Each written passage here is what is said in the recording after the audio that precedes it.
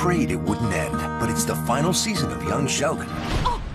And you may be asking yourself, So what happens next? Ooh, tell me. You Want to help us write an algorithm so we can beat the stock market? Well, I haven't done much coding, but I am good at everything. Okay.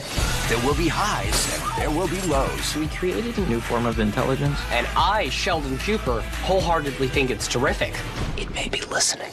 It's another can't miss new Young Sheldon, Thursday on CBS and streaming on Paramount Plus.